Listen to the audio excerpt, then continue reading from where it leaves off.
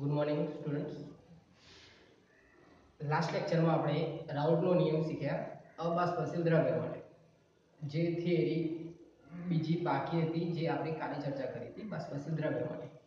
તો એ થિયરીમાં આગળ વધતા રાઉટનો નિયમ બાષ્પશીલ દ્રવ્ય માટે.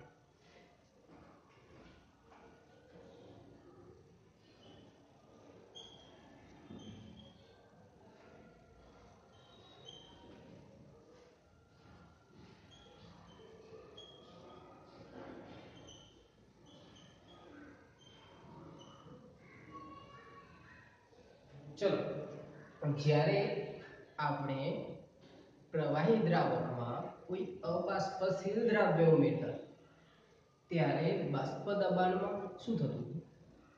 દ્રાવક કરતા દ્રાવણનું બાષ્પ દબાણ ઘટે છે. જ્યારે અબાષ્પશીલ પદાર્થ ઉમેરવામાં આવે ત્યારે. પણ વિચારો કે જ્યારે બાષ્પશીલ દ્રાવ્ય ઉમેરવામાં આવે ત્યારે શું થશે ધારો કે કોઈ બીકરમાં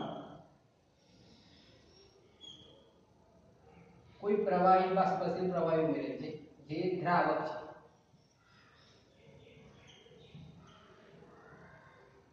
હવે બીજો બાષ્પશીલ દ્રાવ્ય. એ પણ લિક્વિડ ઉમેરવામાં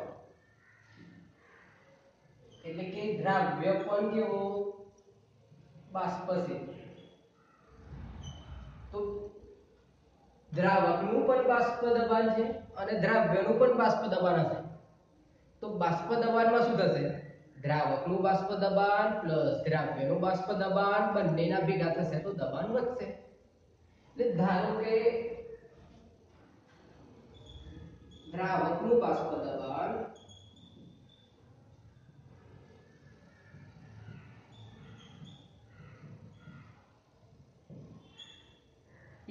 P1 છે.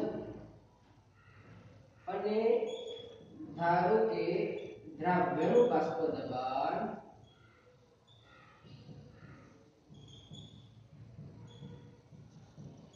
P2 છે. ચલો, દ્રાવ્ય અને દ્રાવકના બાષ્પ દબાણ P1 P2 ધારી લીધા. હવે P1 કોના પર આધાર રાખશે? P2 કોના પર આધાર રાખશે? તો આગળ શીખ્યા એ પ્રમાણે દ્રાવકનું અથવા દ્રવ્યનું બાષ્પ દબાણ તેના મોલ અંશ પર આધાર રાખે છે. તો દ્રવ્ય અને દ્રાવક માટે શું લખાશે? દ્રાવક માટે P1 અને બાષ્પ દબાણ ચલે છે x1 પહેલા નિયમ મુજબ, જે આપણે આગળની થિયરીમાં શીખી ગયા. ચલો P1 ચલે છે x1 તો P1 ઇક્વલ ટુ શું થશે P1 0 x1 સમીકરણ 1 એ જ રીતે દ્રાવ્ય માટે શું લખી શકાય દ્રાવ્યનું બાષ્પ દબાણ એટલે કે દ્રાવ્ય માટે P2 ચલે છે x2 P2 equal to P20 into x2 જે સમીકરણ નંબર 2 થશે. હવે રાઉટના નિયમમાં જ્યારે અબાષ્પશીલ દ્રવ્ય ઉમેરવામાં આવતો હતો ત્યારે બાષ્પ દબાણમાં ઘટાડો થતો હતો કારણ તેમાં અબાષ્પશીલ દ્રવ્ય ઉમેરવામાં હવે બાષ્પ દબાણમાં શું થશે? વધારો. તો આના માટે શું લખી શકાય? કે દ્રાવણનું બાષ્પ દબાણ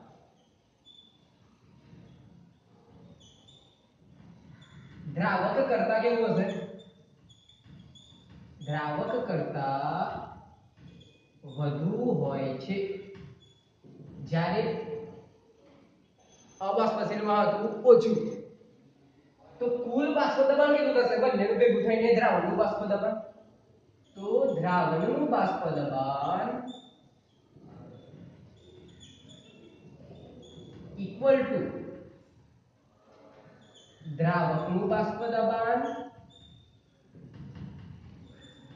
પ્લસ દ્રવ્યનું બાષ્પ દબાણ. ચલો, દ્રાવણના બાષ્પ દબાણને P ટોટલ કહીએ, કે કુલ બાષ્પ દબાણ. તો આ કુલ બાષ્પ દબાણ P ટોટલ ઇક્વલ ટુ થશે P ટોટલ ઇક્વલ ટુ દ્રાવકનું બાષ્પ દબાણ એટલે P1 તે દ્રવ્યનું, એટલે P2 ચલો P1 એટલે સમીકરણ 1 પરથી. સમીકરણ 1 અને 2 પરથી P ટોટલ બરાબર P1 P2 માં P1 equal to P10 x1 અને P2 equal to P20 x2 મૂકતા. આની જગ્યાએ શું મૂકવાનું? P10 x1 અને આની જગ્યાએ P20 x2 શું થશે? P total equal to P10 x1 plus P20 x2 સમીકરણ નંબર 3 હવે આ સમીકરણમાં બે મૂલંશ છે.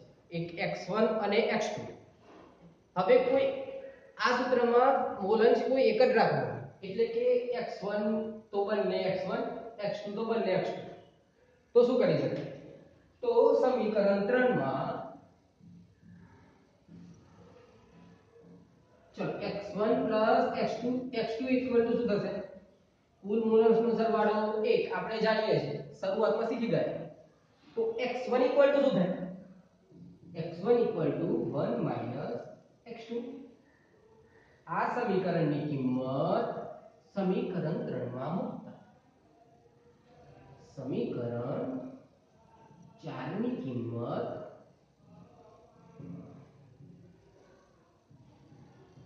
સમીકરણ 3 માં મૂકતા. શું થશે total equal to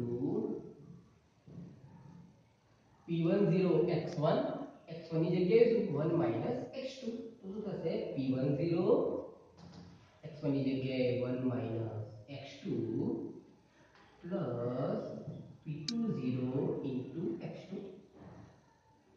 ચલો કૌંસ છોડતા શું થશે P total equal to P10 minus P10 x2 plus P20 x2 હવે આ સમીકરણમાં x2 કોમન છે.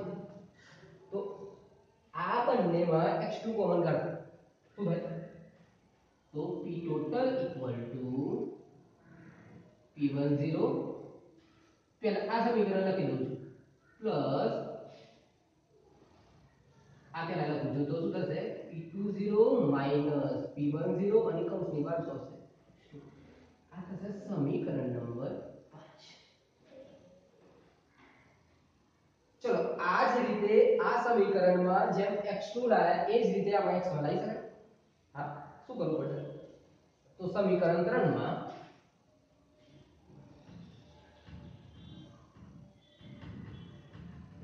x1 plus x2 equal to 1 તો x2 equal to શું થશે? equal to 1 minus x1 સમીકરણ આને કહીએ 6 તો સમીકરણ 6 ની કિંમત સમીકરણ 3 માં મૂકો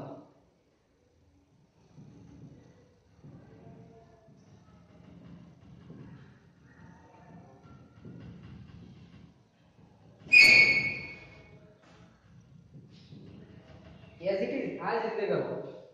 કોઈ બદલાવ નથી. ચલો, મૂકો તો. સૂત્ર કયું છે? સમીકરણ 3 p total equal to p10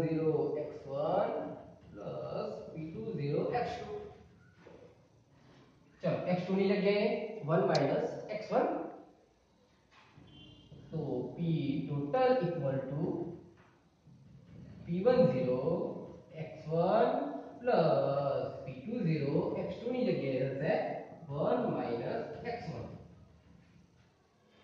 ચલો આગળ વધતા કૌંસ છોડતા શું થશે p20 અંદર જશે માટે p20 minus p20 x1 p total equal to p10 x1 plus p20 minus p20 x1 હું આ પદ આના પછી લખું શું થશે આગળ લઈ લો તો p total equal to p10 x1 minus p20 x1 plus p20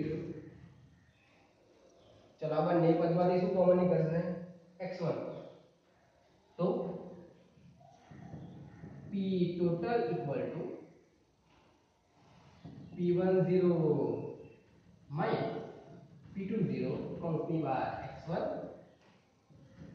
plus p20 આ થશે સમીકરણ નંબર 7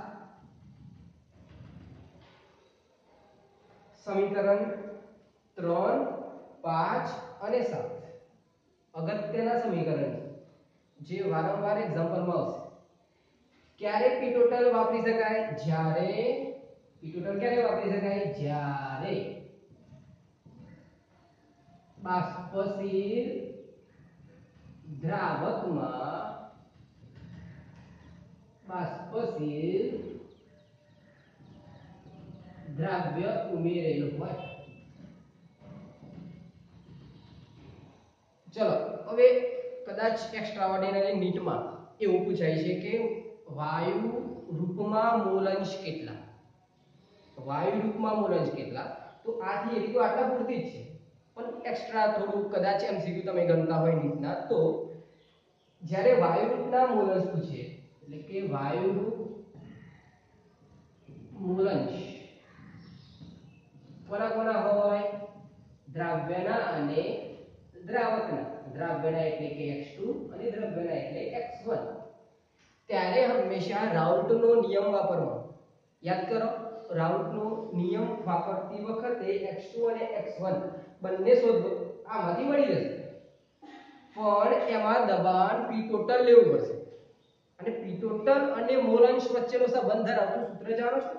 ધોરણ 11 સાયન્સ હા? તો જ્યારે મોલન્સ શોધતા હોય ત્યારે આ સમીકરણ તો જાણો છો તમે. P total equal to p10 x1 p20 x2 પણ જ્યારે વાયુનું મોલન્સ શોધવાના હોય, આ તો અંદર રહેલા ઘટકના મોલન્સ છે. પણ વાયુરૂપ મોલન શોધવા હોય ત્યારે તમે ડાલ્ટનનો નિયમ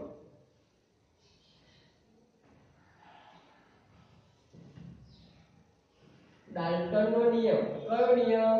આંશિક દબાણનો નિયમ, યાદ કરો, p total equal to p10 x1 plus p20 x2 માં જો મૂલાંશ કોઈક આંશિક દબાણ p1 શોધવું હોય p1 આંશિક દબાણ ત્યારે p1 equal to શું થશે ડાલ્ટનના નિયમ મુજબ p total into x1 આ સમીકરણ ખાસ યાદ રાખો ધોરણ 11 સાયન્સ ભૂલી ગયા છો પણ ફરીથી યાદ કરી નાખો p1 equal to p total into x1 જ્યાં x1 એ વાયુરૂપ મોલંશ છે તો x1 ઇક્વલ ટુ શું થશે? P1 upon p total. અને આ p1 એટલે શું લેવાનું? તો p1 એટલે સમીકરણ 1 મુજબ શું થશે? P10 into x1 કિંમત મૂકો અહીંયા. શું થશે? X1 equal to p10 x1 upon p total. સમીકરણ નંબર 9 આ જ રીતે x2 શોધવો હોય તો શું કરી શકાય x2 equal to શું થશે p2 upon p total અને p2 equal to શું થશે p20 x2 x2 equal to થશે p20 x2 upon p total આ સમીકરણ 10 આ રીતે વાયુરૂપ મૂલાંશ શોધી શકાય આ એરિયા આટલા સુધી જ છે. સાત સમીકરણ સુધી. રાઉટનો નિયમ જ્યારે બાષ્પશીલ દ્રવ્ય માટે પૂછાય ત્યારે આટલી સુધી જ લખવાનું રહેશે? પણ આ નીટ માટે છે સ્પેશિયલ કે નીટમાં જ્યારે એમસીક્યુ પૂછાય ત્યારે ખાસ બધા ભૂલ કરે છે. જ્યારે આ x1 ને x2 શોધી કાઢે છે. પણ ખરી રીતે આ x1 ને આ x2 શોધવાના હોય છે. એટલે ભૂલ ના થાય. ફરીથી આ મોસ્ટ આઈએમપી એરી અત્યાર સુધી આપણે મોસ્ટ આઈએમપી એરી શીખ્યા કઈ? તો હેન્ડ્રીનો નિયમ અને રાઉટનો નિયમ બાષ્પશીલ દ્રાવ્ય અને અબાષ્પશીલ દ્રાવ્ય માટે. જે બહુ જ, ખૂબ જ કામનું, કામી થિયરી છે નીટમાં પણ જેડબલઈમાં પણ અને બોર્ડ માટે પણ તૈયાર કરી નાખવી ખાસ.